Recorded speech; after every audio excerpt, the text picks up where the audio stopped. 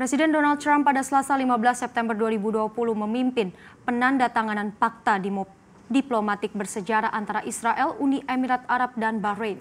Iya, Trump berharap perjanjian ini akan menjadi tatanan baru dan menjadi pembawa perdamaian. Perjanjian ini diresmikan normalisasi hubungan negara Yahudi yang sudah mencair dengan kedua negara Arab sejalan dengan oposisi bersama mereka terhadap Iran dan agresi di wilayah tersebut. Kini ketiga negara akan terbuka untuk menjalin hubungan bilateral mulai dari budaya, ekonomi hingga transfer teknologi. Perjanjian ini ditandatangani meskipun mendapat kecaman dari sejumlah negara Timur Tengah.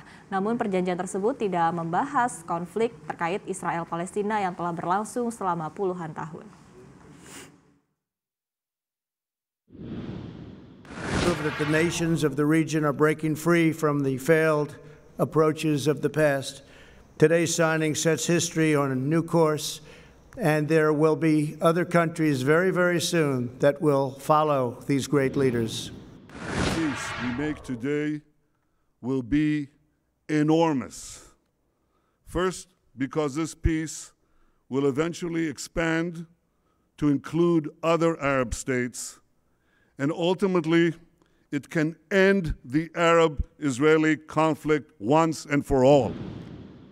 لأن دور الولايات المتحدة في المنطقة الشرق الأوسط إيجابي ودليل هذه المعاهدة التي نوقع اليوم في البيت الأبيض حيث ستظل في التاريخ الإنساني منارة مضيئة لكل محبي السلام وبالنسبة لنا فأن هذه المعاهدة ستمكننا من الوقوف أكثر إلى جانب الشعب الفلسطيني وتحقيق أماله في دولة مستقلة ضمن منطقة مستقرة ومزدهرة. تأتي هذه المعاهدات العربية التي وقعت مع إسرائيل في العقود الماضية كخطوة ولبنة مهمة للمستقبل، حيث الهدف من هذه المعاهدات هو العمل نحو الاستقرار والتنمية.